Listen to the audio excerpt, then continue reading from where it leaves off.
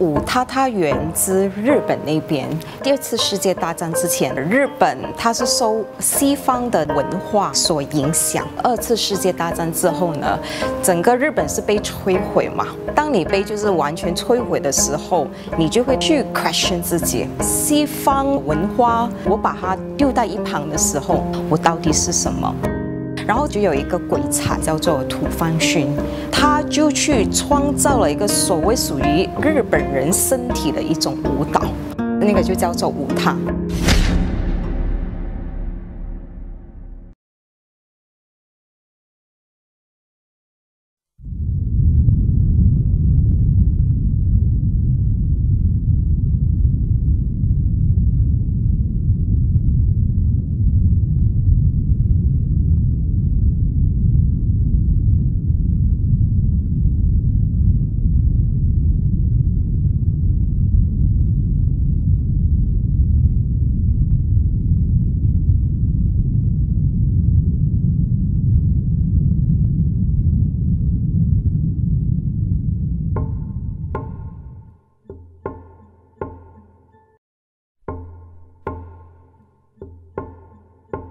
好，我名叫姚丽珠，我是呃吉隆坡布多索比莎蔷薇舞踏社的创办人。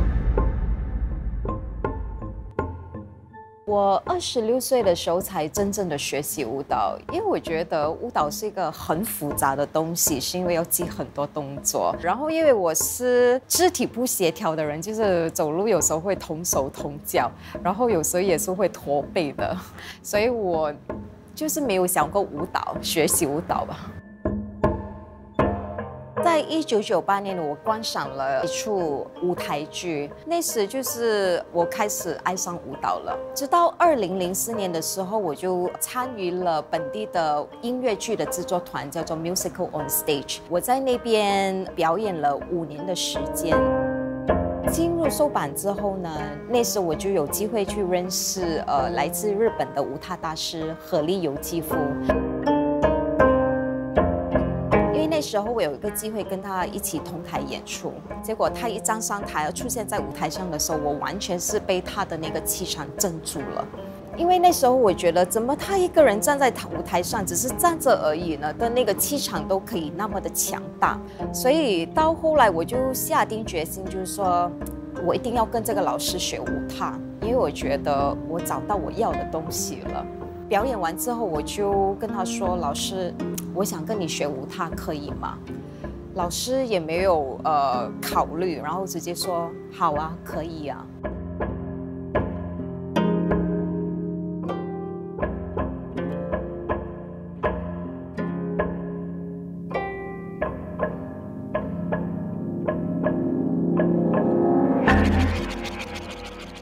在一个一本杂志上面看到舞踏的呃的那个照片，然后里面的舞者呢就是全身涂白，然后甚至裸体，那时候我就觉得特别的厌恶。然后我想，这个这种日本的舞蹈到底是什么变态的东西啊？怎么会把这么怪诞、这么奇怪、这么难看的一种现象给观众看？所以那那时候我就觉得这个是不可思议也不可理喻的一种舞蹈。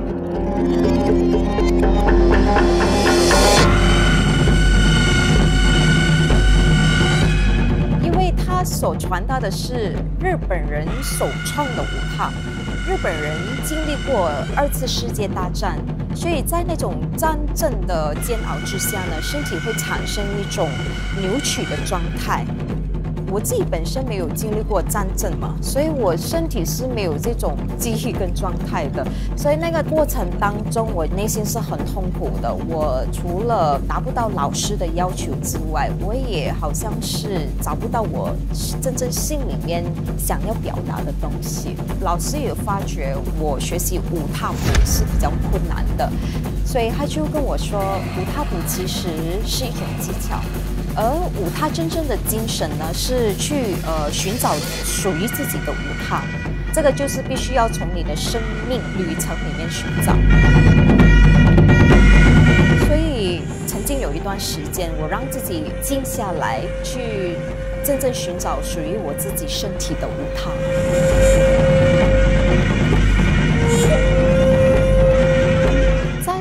自己的舞踏当中呢，我发觉我的特质是比较 intense 一点，就是紧绷一点。我的肌肉就是比较紧张一些，然后有时甚至会皱眉头。我就很好奇的去想，为什么我身体会有这样子的一个状态？可能那时候是因为家里有一些不容易之处了，所以我妈妈在怀我的时候，可能她的情绪的状态影响她肚里的孩子。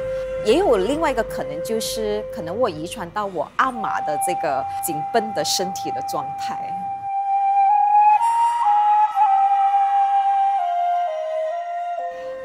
人。本来就是不能够逃离黑暗的，因为黑暗它本来就是真实的，它存在我们的生命里面。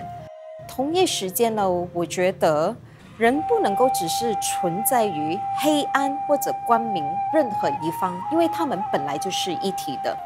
所以我的舞它的方向就是从黑暗中寻找光明。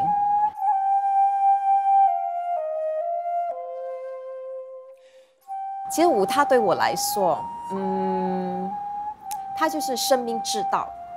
舞蹈这个“舞”字上有个“无”，意思是无我，也表示掏空自我，回归本然。